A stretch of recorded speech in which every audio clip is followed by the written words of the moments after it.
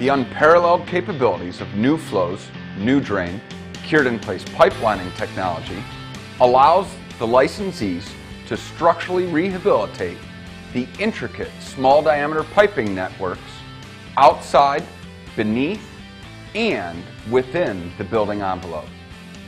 Cured in place pipelining technology was originally developed in Europe during the 1970s for roof drain rehabilitation. This system is capable of handling networks ranging from inch and a half to 96 inches in diameter. Nu Drain can be used on a wide variety of systems, including mains, horizontal laterals, vertical stacks, roof drains, as well as sanitary, drain, waste, and vent systems.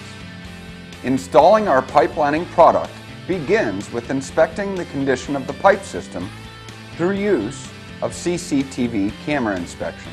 Once the pipes are inspected and measured, the problem areas are accurately mapped. The internal pipe is then cleaned of buildup and corrosion so that the liner make a mechanical bond to the inside walls of the host pipe. After cleaning, the pipe system measurements are transferred to the lining material and the segment is built. This ensures the liner is accurately measured for installation. Once the liner is built to length, a calibrated air pressure test ensures the liner will install properly. A two-part 100% solids epoxy resin is measured and thoroughly mixed. A calibrated roller is then used to saturate the felt liner.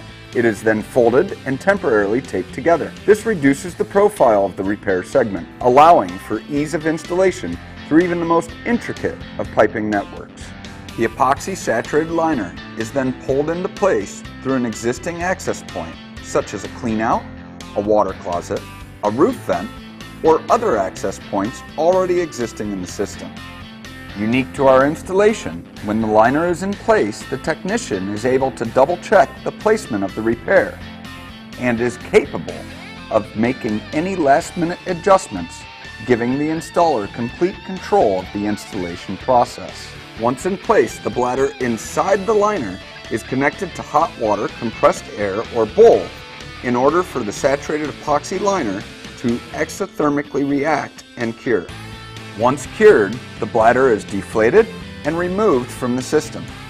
A final CCTV inspection takes place to ensure the liner was installed correctly. Nu Drain is the solution to solving and extending the useful lifespan of non-pressurized mechanical systems. Through its network of licensees, NuFlow has successfully rehabilitated millions of feet of failing pipe systems.